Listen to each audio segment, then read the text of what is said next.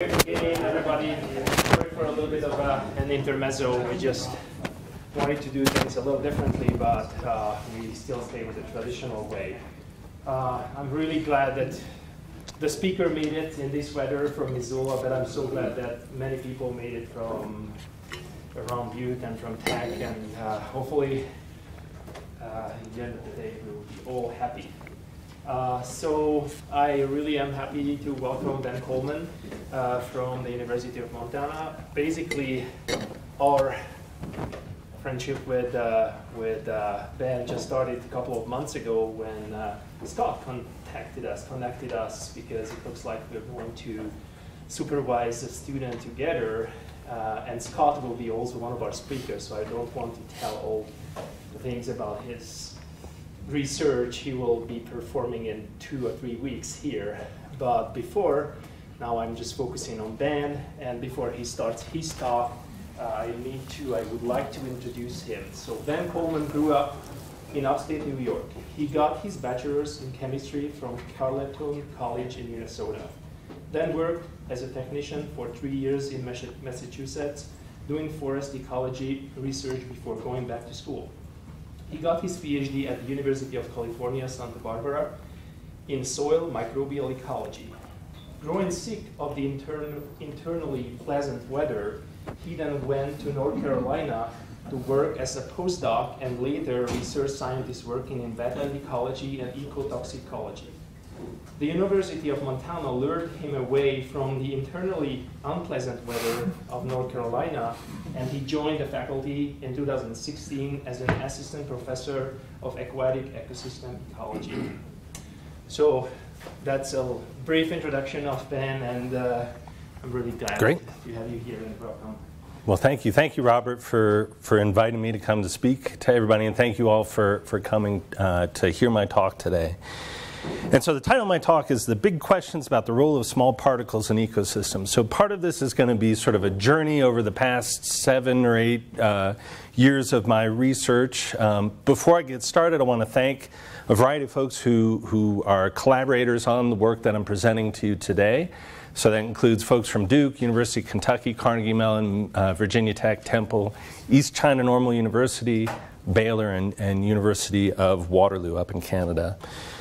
Um, and I am an ecosystem ecologist. And probably many of you know what that is, but I, I want to just sort of give you my particular spin and, and a lot of, you know, a very quick overview of work that I've been doing um, to sort of set the context for the main part of my talk, talking about these small particles in ecosystems. And so I you know, I think fundamental for understanding the practice of restoration is understanding how ecosystems work, and that is the discipline of ecosystems ecology in my mind, trying to understand how these systems work, the interplay between the biological and the abiotic components of these systems. And so I, I uh, spent a lot of time looking at terrestrial systems, looking at cycling of carbon and nitrogen in these systems, Spent some time looking at uh, photochemistry in marine and freshwater systems, uh, interaction of organic matter and light. Spent uh, a fair bit of time looking at riparian vegetation, wetland vegetation, and uh, interaction between that and the soils uh, that that vegetation was growing in, as well as trace gas fluxes in and out of those soils.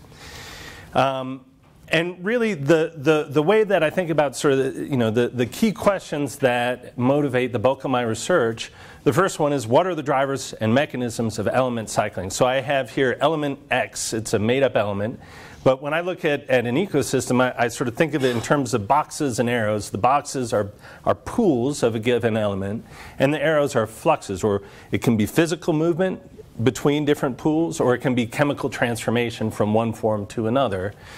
And, and so this is, this is my very boring way of seeing the world, but it works for me. It makes me happy, so I'll, I'll stick with it. The, the other motivating question in my research is what happens in, in these systems when there are chemical perturbations? How do these chemical perturbations change element cycling in, in the system? So, represented by this red arrow coming in here and somehow affecting the pool or the fluxes. And so, uh, much of my work looking at terrestrial systems was looking at anthropogenically created nitrogen deposition on these systems, so either through fossil fuel combustion or through, uh, through fertilizer volatilization and then deposition. Uh, I've also worked some looking at the effects of saltwater intrusion into historically freshwater coastal wetlands.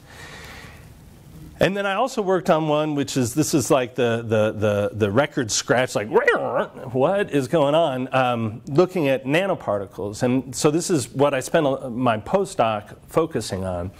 Uh, the EPA and NSF realized that there was an increasing number of products with with uh, consumer products with nanoparticles, and they said, well, this may represent a new class of contaminant that we haven't thought about before. Let's put some money into sort of understanding what types of impacts these might have. Now, um, that sort of served as my entree into the world of the small particles, and so I'm going to, for the remainder of my talk, sort of talk about some lessons that came from, from that work, as well as highlight some future directions or, or ongoing directions in my work. So we'll, we'll focus on nanoparticles, but you may be wondering what are nanoparticles? And the quick answer is that nanoparticles are very small. They're in the 1 to 100 nanometer range. How small is that? It's about a billion times smaller than us. If you take something that's a billion times larger than any of us, that's Jupiter. So it's, it's a pretty large size differential. Um, and I also brought my uh, logarithmic meter stick here to give another sense of um, how big they are and put them in, in, in, scale of objects that you maybe interact with more often than, say, Jupiter. Um, so we've got uh, nanoparticles down here at 1 to 100 nanometers. We have things like cobbles and gravel and sand and silt and clays. And it's only once we get down to clays, the small end of clays overlaps with nanoparticles. So these clays stacked up here, if you look at the at the, the, the uh, height of each of those sheets that's stacked up there, it's about a nanometer. Um, and, and really, nanoparticles were sort of carved off of the bottom end of colloids for reasons that I'll get into in, in the next several slides. But the thing that I want to highlight here is that um, in, in much of, of uh, science and monitoring uh, natural sciences, we, we have sort of this operational definition for what is dissolved. And the exact threshold varies by field. In much of uh, aquatic ecology, it's 0.7 microns or 700 nanometers. And the point I want to make here is that really a lot of what we think about as being operationally defined as dissolved may actually be particulate. And I'd like to explain why I think that is important. But that's just something to sort of keep in mind that a large fraction of colloids, some clays, and uh, course, all nanoparticles really, they are particulate in nature, but we might call them dissolved based on the fact that they can pass through these uh, filters. So why does this small size matter? Well, it matters for a, a, range of reasons. One, if you look at something as it gets smaller and smaller and smaller, and this is true for people as well as particles, their surface area goes up relative to their volume. So you could have the same amount of material, uh, same, same mass material, same volume if you squish it all together, but it's going to have a lot more surface area. That higher surface area is going to lead to higher reactivity, faster reaction rates. The way I like to think of it is if you took, uh, if you took an Alka-Seltzer, and maybe some of you don't know what that is, it's a heartburn treatment. Um, you plop it in some water, it goes fizz, and then you drink it, and it helps to quiet your uh, upset stomach. Well, if you were to take that and crush it up and throw it in that water glass, it's going to spurt out the top. You're going to, it's going to have such a violent reaction because of all that surface area. So their small size presents a lot of surface area for interesting reactions to take place on. They also become more stable. So here we have uh, diameter again on the x-axis. On the y-axis, we have settling velocity. And so as particles get smaller and smaller and smaller, they settle much less rapidly. Well, what does this mean? Uh, what it basically means is that as particles get small, they're going to start diffusing via Brownian motion, the drunken walk that you may have learned about in chemistry, or um, heaven forbid you've ever experienced it firsthand. But the, um, these, these small particles will diffuse faster than they are settling, and so they'll stay, they'll remain stable in suspension for prolonged periods of time, or they have that potential. And then finally, um, they are an efficient delivery system. So, uh, uh for those of you who have never seen the Trojan horse, this is a photograph that was taken of a replica because the story took place long, long ago. But the basic idea is uh, the, in order to get into the castle of the Trojans, this horse was constructed, soldiers were put in it, and it was given as a gift, but that gift contained a lethal payload. And so out piled the soldiers, and um, on went the war. And so small particles can serve as a very efficient delivery system. So if you have a dissolved solute, you've got one atom bouncing around. If you have a particle that has 10,000 atoms, it's stable in solution, but it's moving a lot, or it's stable in suspension, moving a lot more slowly. Well, when an organism encounters that, there's a lot more of a potential chemical burden or potential resource that's coming into contact with that organism cell. And so it can be perhaps detrimental or perhaps beneficial to that organism if they can access um, those materials. And because of these unique properties that occur as sizes get smaller and smaller, there's been sort of this revolution in technology. And so, by using carbon uh, in photovoltaic cells, we can create much more efficient uh, electrical generation from, from sunlight. By taking carbon nanotubes and turning them into thread, we can create something that has, the, that has as efficient or more efficient uh, conductivity of electricity than copper, but has the strength of steel. And it's made out of just carbon.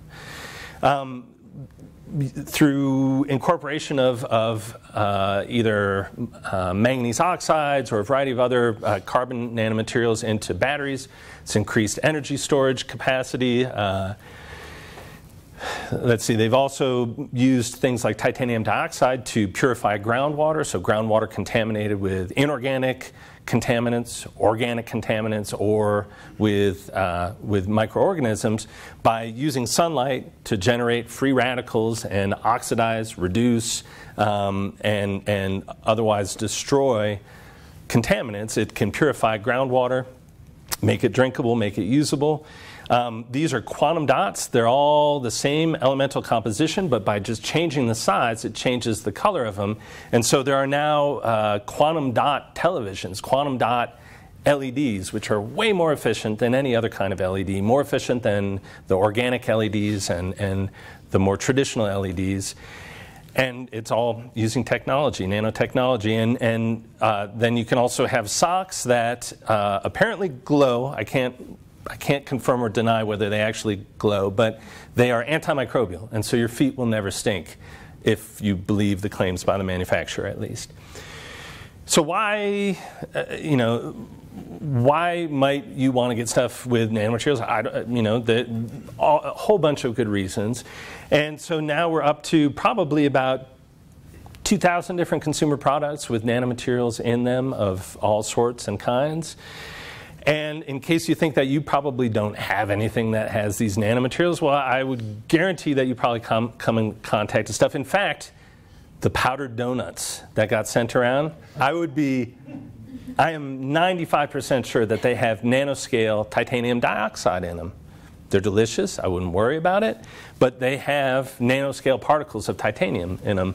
Uh, skim milk used to be blue when I was a kid. Now it's, it's white, miraculously white. Well, you take the colloids of fat out, you need to put something else in to scatter light. Um, very effective pigment in paint, Oreo cookies. Uh, they use them in sunscreens, all sorts of electronics, the glowing socks, and waterproof coats from LL Bean. And so they're in a whole bunch of products. Why might, be, why might we be concerned? Well, we have a bad track record with emerging technologies. So here we have DDT. It smells sweet. It's an effective insect, uh, very effective insecticide. Uh, phosphate in detergents, chlorofluorocarbons in refrigerators. 20, 30 years down the line after adopting these technologies, we realized, oh, these have these kind of massive unanticipated consequences. So, thinning of, of bird egg shells and, and, and uh, declines in some majorly important bird species. Uh, decrease of, of nutrient limitation to algae and increase in frequency and, and magnitude of, of algal blooms.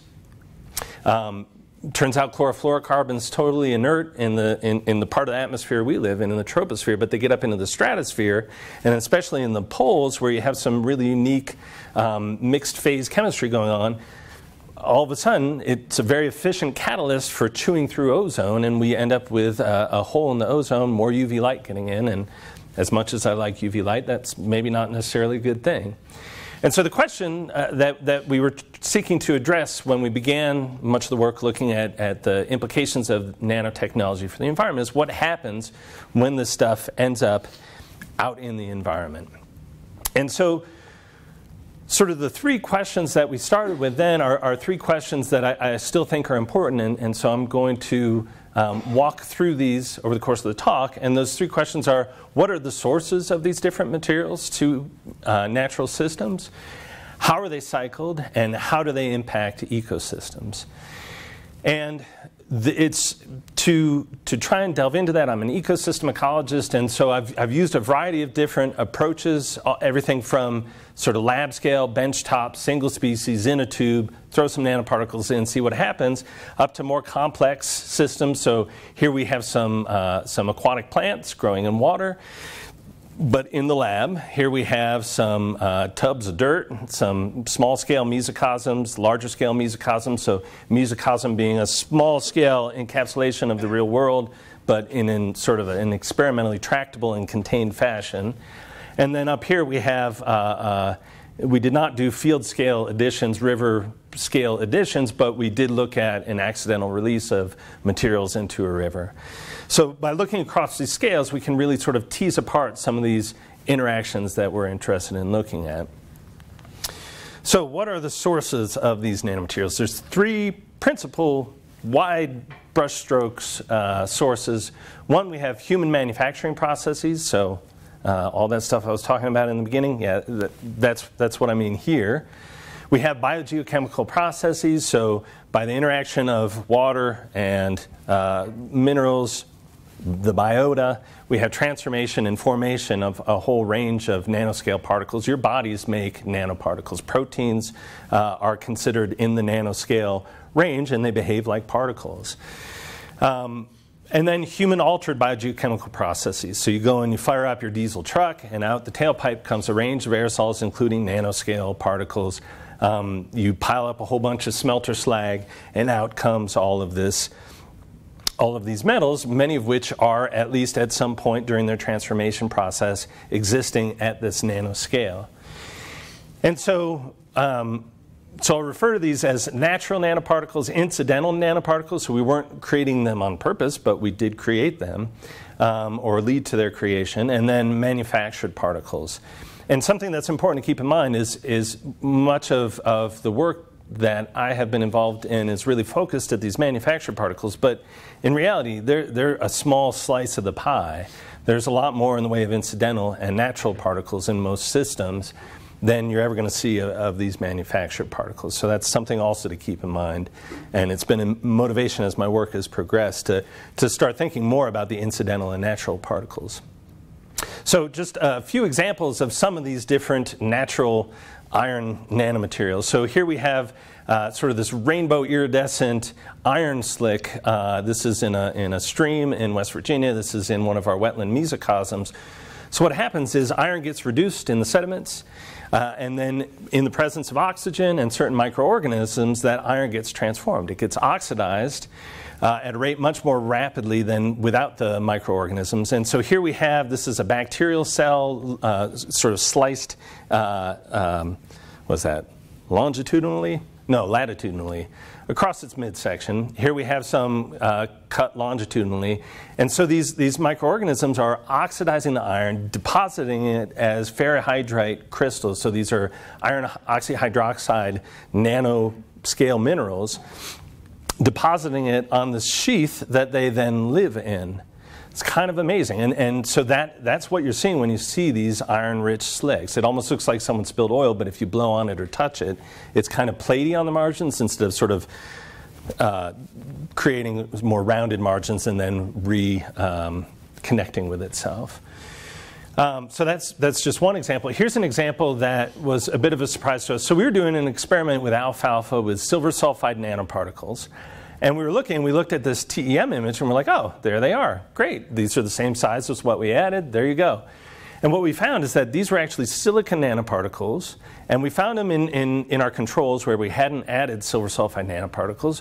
But they were very well dispersed. In the presence of the silver sulfide nanoparticles, the silver was uh, highly associated with this silica coating around it. These silica particles had sort of aggregated around it. And we hypothesize, we don't have any strong evidence for this, but it's an intriguing idea at least, that the plants are actually in part using silica to sort of detoxify these metals by enclosing them in glass, if you will. Not quite, it's crystalline, but still, same general idea. Um, another example and another surprise, we were looking for uh, gold nanoparticles and silver nanoparticles that we'd exposed to this aquatic plant, Egeria densa. It's a non-native invasive, but it's very common, especially in parts of the southeastern U.S. And so here is a close-up of one of the leaves from one of these plants. There's a little box here that you can't probably quite make out, but when we zoom in on this area here, here we have an X, uh, XY scan, and then here we have an XZ. So this is depth looking into the leaf. You see a whole bunch of green, and maybe you can see some red. There's a little red there, and then there's sort of a, a grouping of red here. The green is from chlorophyll, autofluorescence of the chlorophyll. The red these are small particles that are sort of buried within the structure of the leaf, buried in between mesophyll elements. And we're like, ah, we must have found our gold and our silver, and we were dead wrong. It was titanium dioxide that came from the soil. The soils, most soils, surface soils, around 1% titanium dioxide. It's a, a very broad average, but certainly in North Carolina, that's, that's, that's about right. And for whatever reason, this titanium dioxide has ended up within the cell, cellular structure and in between the cells of these plants. Moving on to incidental nanomaterials, uh, here we have an example from the Dan River coal ash spill. So this is back in 2000 and, and 2014, I believe, is when the spill occurred. And the, um, in North Carolina, our coal-fired power plants are a, a, a, major source of energy. We don't have quite the hydropower that you do in the, in the state of Montana. And they're all located adjacent to water bodies, typically mostly rivers and they all have these coal ash uh, impoundments, typically unlined, right adjacent to the river. And what happened is there was a culvert going under this one. That culvert rotted through, uh, and 29 million gallons of coal ash uh, and coal ash, um, the overlying water, flushed out in the river. So here you can see that plume coming down the river. And so, um, working with a, a, local nonprofit, we went out and we sampled and we looked at all right, what's the distribution of elements, either elements that we would expect in coal ash, things that we might not expect in coal ash, what might we see? And we saw a variety of things, but two I'd like to highlight. The first one is we saw, again, this is electron microscopy. We saw these titanium dioxide particles. We could tell by looking at the, at the crystal structure and the, and the spacing um, that these were titanium dioxide but they were associated with copper. So this is a map of copper, a heat map of copper. And so the, the copper seemed to be absorbing onto the surface of the titanium dioxide. Another thing that we found, this was just upstream, this was an illicit uh, outfall, not a permanent discharge for these, uh, for these coal ash ponds. But you, you, see the, the orange on the rocks. Anytime you see that kind of a color, it, it screams of iron polyiron uh, oxyhydroxide. And sure enough, when we collected some of the water that was coming out, and you can see some of the water coming through, it was just chock full of, of, of particulate matter. And a lot of it was these small uh, aggregates of iron oxide hydroxide or ferrihydrite particles, and those were just coated with arsenic. The arsenic concentrations, for perspective, coming out of here, the lowest we saw was around 200 micrograms per liter which if you uh, consider that the, the safe drinking water guideline the, uh, that's been established is 10 micrograms per liter, this is 20 fold over that, um, that amount. So pretty sizable amounts of arsenic coming out, and it's not in a dissolved form, it's absorbed on these particles. And so you can imagine in terms of the interaction of the biota with those particles, it's going to be fundamentally different than if it was a dissolved solute that was flowing through in the river. Now moving from incidental to manufactured particles, the big three in terms of the volume that's produced, in terms of the number of products that are uh, that use these, are titanium dioxide, zinc oxide, and silver. And really, for a lot of the work that I, I did uh, in terms of looking at these manufactured particles, the main focus was on silver. Why silver? Well, silver is used as a biocide. It's been used as a biocide for thousands of years.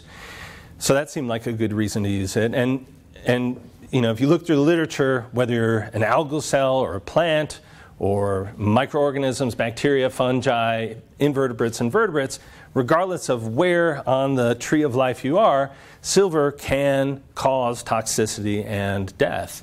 So using something that's a biocide, if what we're concerned about is, you know, what kinds of effects might these things have, it seemed like a logical place to start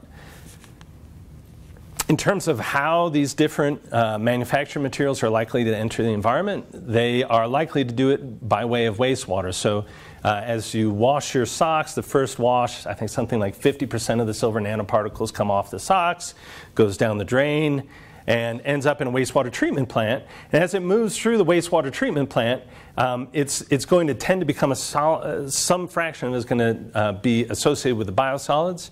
And in the US, a majority of our biosolids that we produce are field applied. And, and then an, a smaller fraction on, on you know, and it depends on what sort of a system you're looking at, but on the order of 1 to 10% of the materials that's coming through the wastewater treatment plant is likely released as effluent. But of course, biosolids uh, being land applied doesn't mean they're going to stay there. So, due to erosive fluxes, some fraction of that is likely to move into aquatic systems. And when we started this work, we talked a lot with our engineering colleagues, and they said, ah, what's going to happen is you're going to put the stuff in a natural system, it's going to aggregate and be completely removed. And so we're like, all right, well, let's, let's test this out. And we didn't have our mesocosm set up, so we did some small uh, in lab assays with just a natural assemblage of, of, stream microorganisms, some stream water. We put the particles in, and sure enough, we saw aggregates. So all these arrows are pointing to darker areas on this micrograph. Those darker areas are, are, are aggregates of these silver nanoparticles. The white spots are bacteria. So we used a DNA intercalating stain. It lit them up like Christmas and uh, the thing that was hilarious is that the they're growing right on these aggregates. They were, if you invert the bottle that this was sitting in, you'd see these streamers of organic, of, of extracellular polysaccharides, this goo that microbes exude, coming off of these particle aggregates. So apparently, uh, in a natural system, indeed, they do uh, tend to aggregate, and the microbes didn't seem to mind them too terribly much. So we said, all right, well, okay, we know what's going to happen when we do a, a mesocosm experiment. We're scaling up, but we're going to do it anyways because you know what? we kind of have to. We, we need to know what's going to happen for sure. So uh, this is our wetland mesocosm setup. So it has this. Uh, it's about four foot by 12 foot by three or four feet deep. It goes from an aquatic, permanently flooded aquatic component uh, up to sort of this transitional zone that is periodically inundated with water depending on rainfall and evapotranspiration. And then this upland compartment that rarely, during most years, is inundated with water. And we said, all right, what's going to happen? And just using a super coarse metric. So remember how I was talking about these 700 nanometer uh, filters as our coarse metric of dissolve versus not dissolve. Well, we knew full well that the majority of the nanoparticles should go right through that. And we said, all right, if they aggregate to a significant extent, we're going to pick it up with this. So let's see what happens. And you know, I mean, we could you could see them in our in-lab assay, so it wasn't unreasonable to expect that this might work. So we added um, three different forms of silver. So we added two different silver nanoparticles, the, the squares and the triangles. We added silver in a dissolved form, silver nitrate, and we looked to see what happened. And so over time, this is going from the beginning of the experiment down to the end of the experiment. You can see that things fall out on this one to one line of unfiltered silver versus filtered silver. So suggesting that if they were aggregating, they weren't aggregating appreciably much, you know, not enough to catch it in this. But we wanted to look at a little bit more fine scale and try and reconcile our two experiments. So we did a microcosm experiment with plants, without plants. Um, so the, the idea being that maybe the plants are stabilizing things. And in fact, we did see this large release of organic matter. Organic matter can stabilize colloidal and nanoscale particles. Perhaps that's what's going on. And sure enough, with plants, we saw the same sort of pattern that we saw in our mesocosm experiment without any plants. We saw we, we lost about 40% just after 24 hours. 40% of the silver had grown to the point that it was large enough that uh, it wasn't making it through these filters. But we wanted to look a little bit more in a little bit more nuanced way and say, all right, but what's happening to the distribution of these particle sizes? So we started with something that was around, so on this x-axis here we have both retention time and size. This is a technique called field flow fractionation. Um, and to make it even worse, it was asymmetrical flow, field flow fractionation. Um, a little bit more of a mouthful.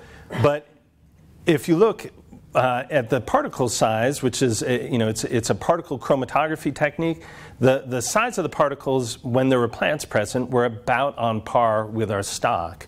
They weren't significantly different from the stock in terms of the, the, the particle size.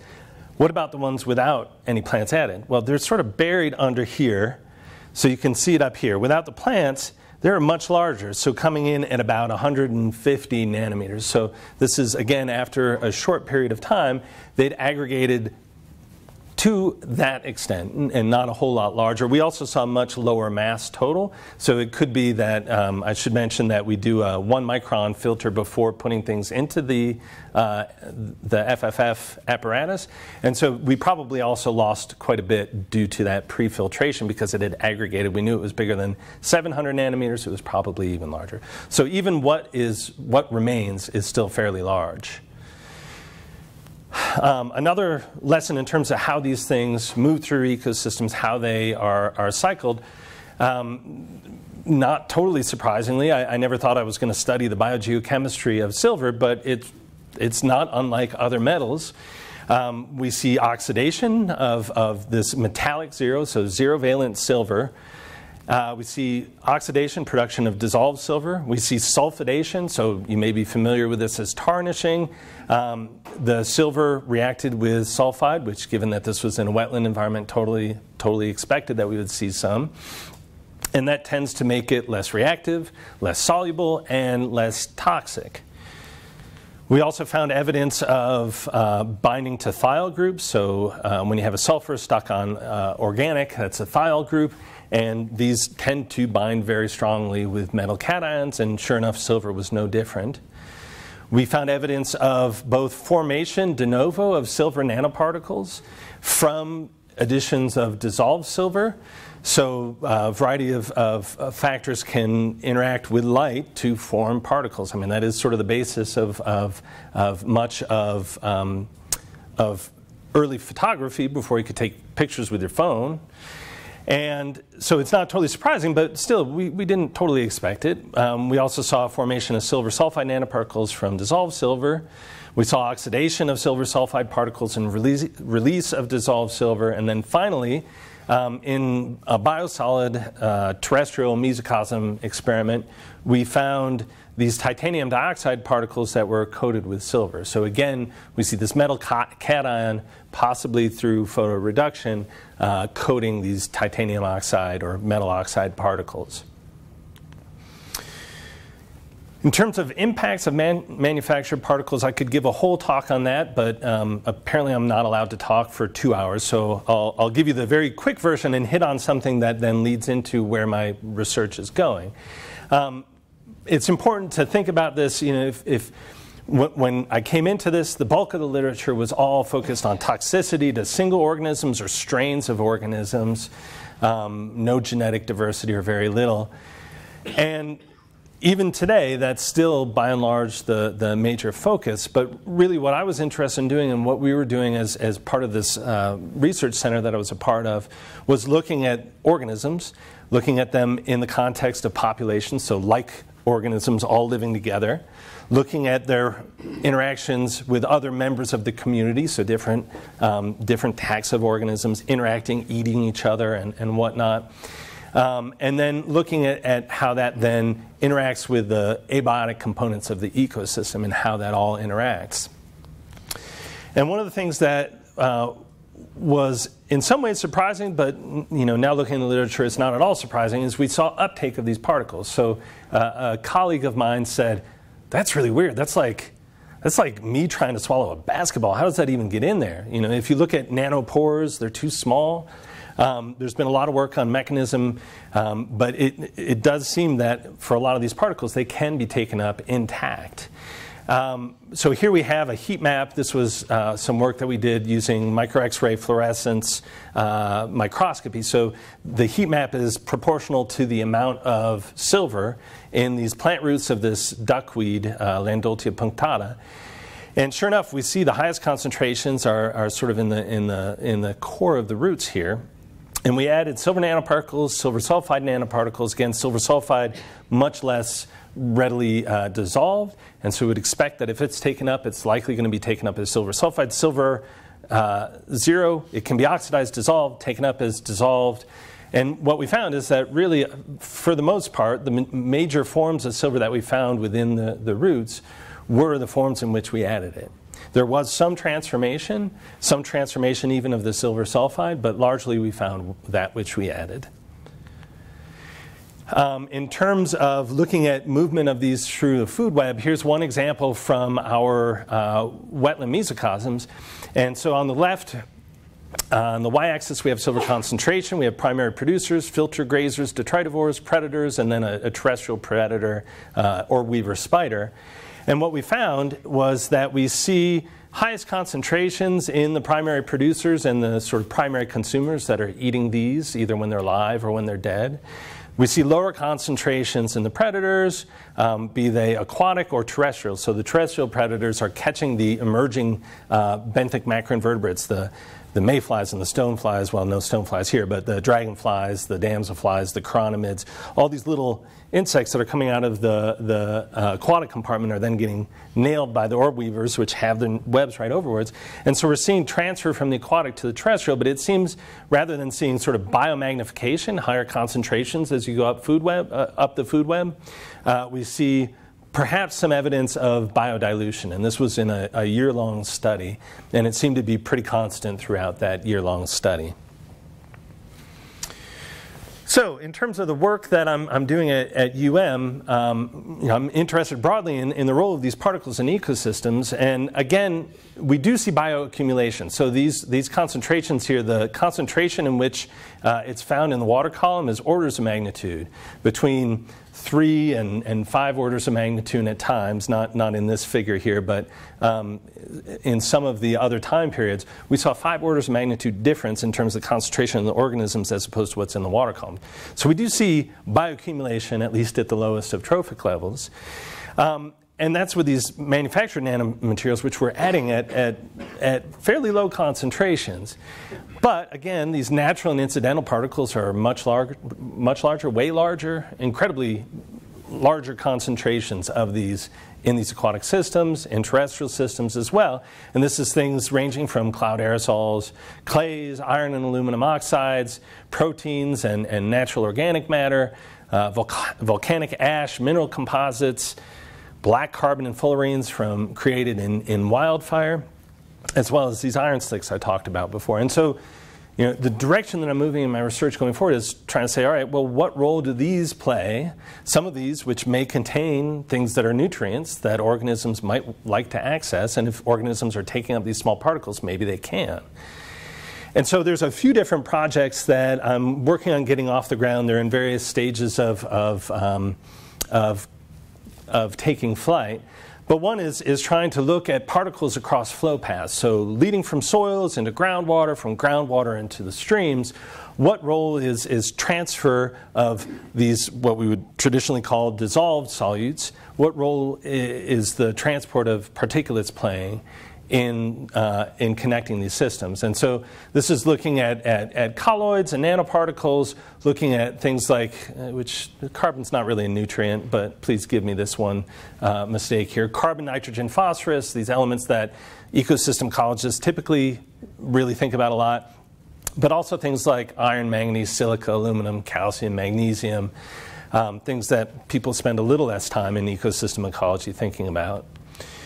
Um, also, I'm interested in looking at, at these small particles as potential contaminant vectors, so especially in, say, um, systems that have been subjected to a history of mining and smelting and deposition of, of, um, uh, of overburden and whatnot. Um, and, and here the question is very similar, a similar question, but a very different system. What fraction of these contaminants are moving through the system in a particulate fraction, and how does this alter their transport, uptake, and biomagnification as opposed to if they were dissolved? And so this is work by a soon-to-be master student in my lab uh, that, that we're going to start this summer.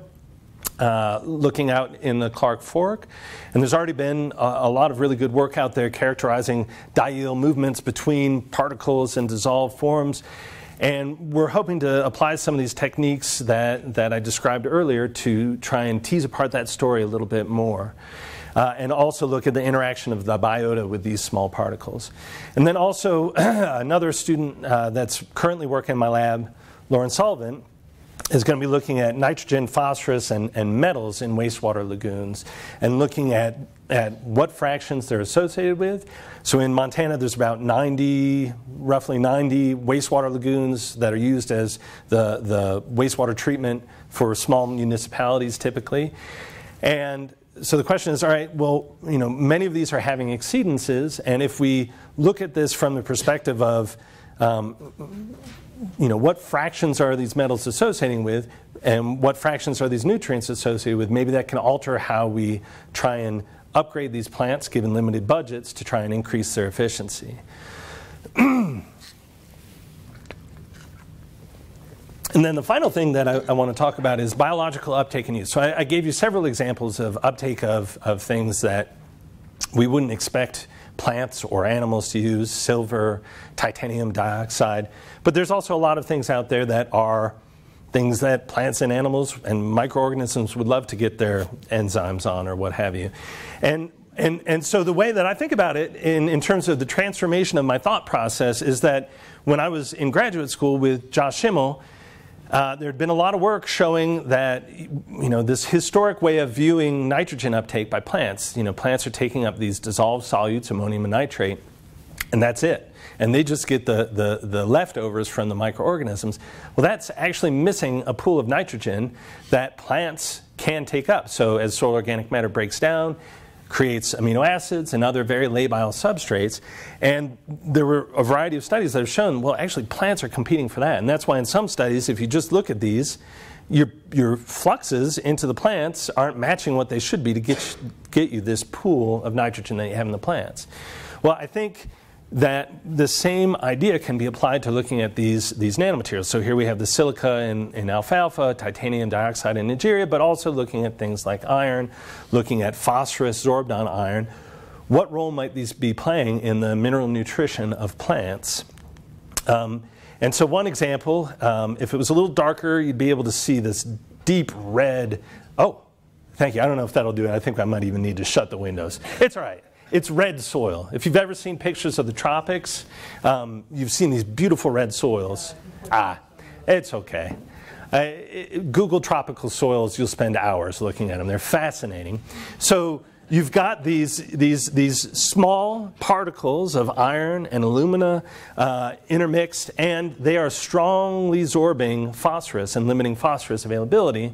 But yet plants grow and they grow big and tall. And if we look at the availability of phosphorus in the soils, it doesn't seem to match up with how much the, the plants are getting. So one thought that I've had is that if plants are able to take up in sort of these variable redox conditions, if they're taking up uh, or even leading to the transport of these uh, iron bound or phosphorus bound on iron, then it may be another source of phosphorus that the plants have available to them. And I think, given the similarities of arsenic to phosphorus, this might also be a factor in arsenic contaminated, contaminated landscapes. So here we have up in the Smelter uh, Hills area, this is a picture that Scott Robinson, uh, Scott Robinson, who's sitting among you, who's giving a talk on March 29th, shameless plug. Um, it's a picture that Scott took. But you know, the, the arsenic concentrations are incredibly high up there. Vegetation, in part, may be limited in terms of its growth by arsenic and other metals. And it may be that some of the uptake is taking place as uptake of arsenic that is sorbed on particle surfaces. And so, you know, if, if this process is important, I would be very surprised if this one is not. So, if there's one thing you take away from today's talk, um, I hope that it is that the operational definition that is commonly used for talking about things that are dissolved, um, it completely ignores these small particles. So if we peel back this dissolved moniker here, we see we've got colloids, nanoparticles, clays, much of clays fall into that range. And because of their potential stability, because of their potential high reactivity, and because of the fact that they can carry a payload with them, either the payload being themselves or stuff stuck on the outside, that it could be pretty interesting to focus in and focus down on what role these are having in ecosystems. And so, in particular, I, I am uh, hypothesizing some of these I've got more evidence than others that, that they are important roles, but I'm, I'm suggesting that small particles play many roles beyond what we're used to thinking of when we think of, say, clays and soils, holding on to nutrients, holding on to water, holding on to organic matter. And so, the, you know, contaminants is, is certainly one potential role. Um, looking along flow paths as ways of connecting upland systems with aquatic systems. In terms of serving as contaminant vectors, and then finally, in terms of biological uptake and potentially use, um, you know, is there a reason that these plants have taken up this titanium dioxide? Who knows? It's hard to reason with a plant. I have no idea. But perhaps it's serving some role. Perhaps it's, you know, the, these are white pigments. Perhaps it is helping to harvest more light, or perhaps it's playing some other role. So, anyways, that's where I'd like to leave it, and I'd like to thank you very much for your attention.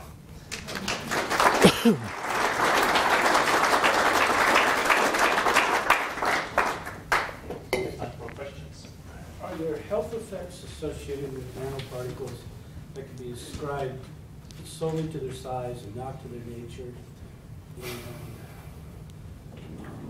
And What are they? I mean, certainly. So, in, in sort of the ecotoxicological literature, most definitely. So, you take something like titanium dioxide, you shrink it down, it's much for, more photochemically active. It'll create more reactive oxygen species, and so it's likely to be more toxic. Um, in, in terms of our interaction with titanium dioxide, we smear it on our skin, we ingest it. You know, I don't. That literature is is less far along, I would say, um, and I'm less familiar with it as well. But certainly, as these things get smaller, or take silver, as it gets smaller, it becomes much more reactive, and can at times, you know, in in many experiments. Uh, you'll see these nanoparticles are more toxic than sort of micron scale or the dissolved form of a given element. So take silver. Um, so I would say yes, there is evidence suggesting that. Does smoke uh, fall in a size category that's safe from a forest fire or something like that? That's larger than nanoparticle, or is it boundaries? It crosses all the. I mean, there's certainly a lot of, you know, if you look at the particulate monitoring that's set up across the state of Montana and in many of the municipalities, there they're looking at micron scale particles. Um, and that's what's really focused on. A lot less is known about the health effects of these nanoscale particles. Some think it might be worse because they're so small, they can get in a lot more readily. Um, but I, I, don't know the particle size distribution of, of forest fire smoke. I think it's a smaller component, but if you're to look at the total surface area that is presented to an organism that's inhaling smoke, it may be an, uh, a non trivial component. Sort of two questions. One is a really simple one. You keep using this word that ends in cosm to talk about sure. medium sized uh, experimental bats or systems. Yeah. What is the word? Mesocosm. So we've got the cosmos. A mesocosm is a small version, and microcosm if you want to go even smaller. And I don't smaller than that, it's test tube. Yeah, you talked about microcosm. Yeah. Sorry. Sorry. I try and explain that, and But I wasn't sure what word you used for the medium size. Mhm. Smaller than a river, or smaller than a lake, but bigger than a lab. Um, the other, the other question or comment I have is, we showed this, um, graph at the beginning that, um, indicated the number of products with nanoparticles in them going up from very low in two thousand and five. Uh, there have been products with nanoparticles in them, like ever since products were made. It's just that nobody counted that or measured it in them. I, you know, talcum powder, you know, milk, I mean, all these things have nanoparticles, and just because in many cases they came that way from the the products come from, or they're produced in the manufacturing. Um, and so there's a huge history of working with products with nanoparticles in it. I was wondering if there's any particular evidence of the particular impacts that the nanoparticles have, given that you can't just draw a line in time and say, okay, before two thousand and five, there were none of them, and now we have them, as opposed to the, so the, the chemistry, the bigger the particle is, the more it has the chemistry of whatever it's made out of. But it, it's a nanoparticle, it's like in quantum mechanical too, and the chemistry kind of disappears there. Yeah, and you, you yield to almost religion, right? Right. Spirituality. So I either, no, I know I'm not asking the question very well. No, no. I, I mean, I think I, I think I understand what you're saying, and and and unfortunately, my answer is, I don't know. I mean, certainly, yes. That that is a very you know those are are products that have been recorded in the registry. Um, I do think that compared to the 2,000 or so products that are out there now, it's that with many of those intentionally putting nanomaterials in for their unique properties and presenting them in the product in a way so that they may very well be lost from that product into, into natural systems directly or indirectly. There's certainly a lot more now than there used to be. Um, and I would say, certainly in the manufacture of these materials, you know, I showed you just the number of products. It's roughly linear, but that doesn't actually reflect the masses that are being used.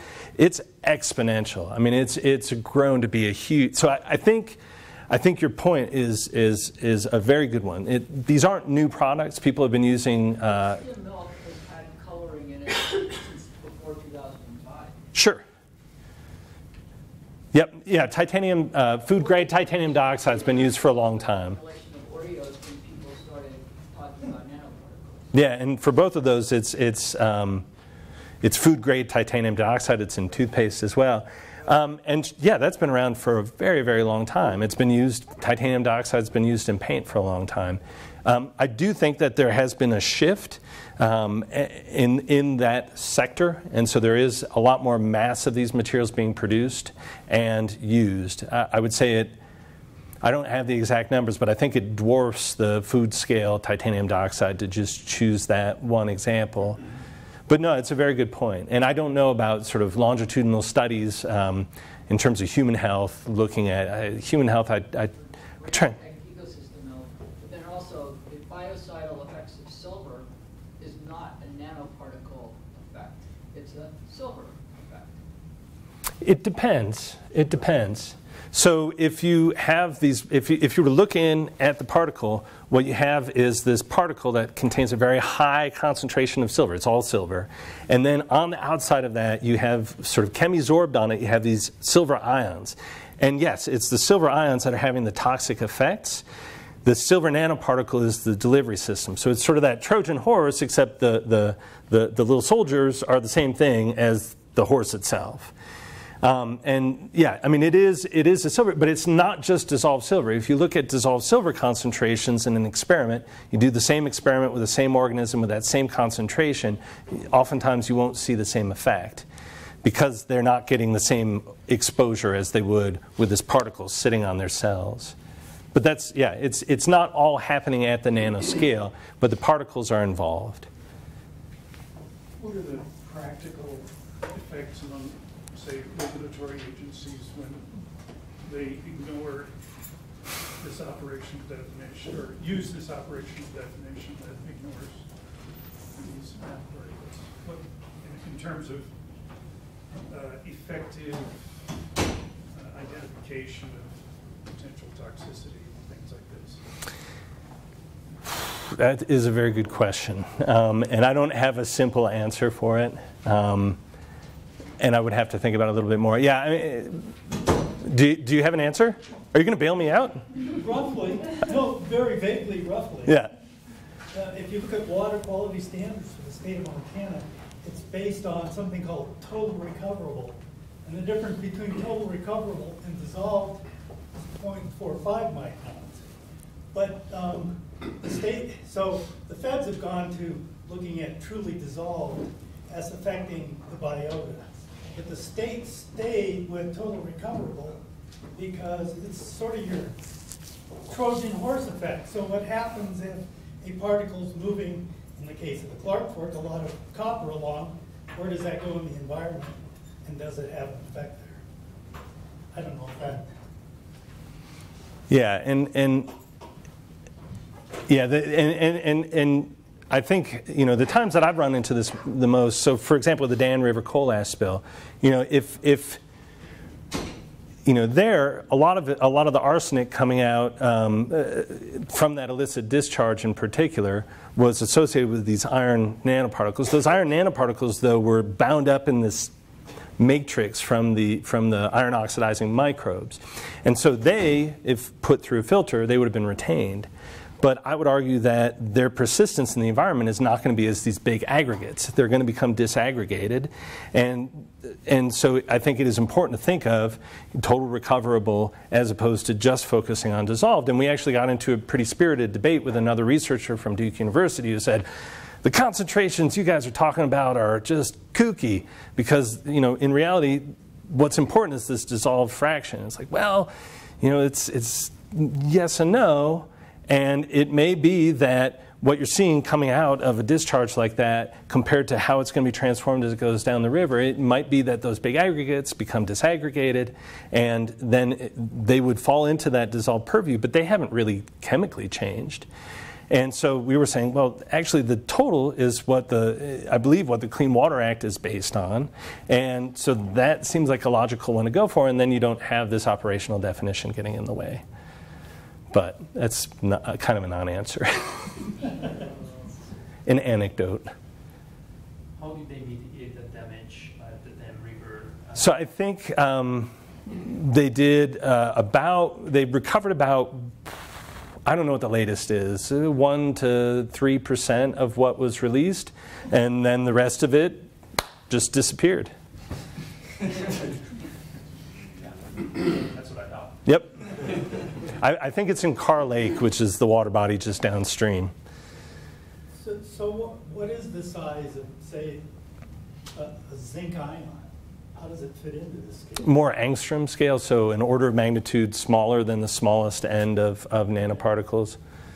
Yeah, so So saying 0.45 doesn't get even close to. No, no. You know, some people use um, 20 nanometer or thereabouts, and there a lot of the the small particles will be retained on that, even even particles smaller than 20 nanometers, because they have sort of this corona of proteins and organic matter around them that uh, helps them be retained.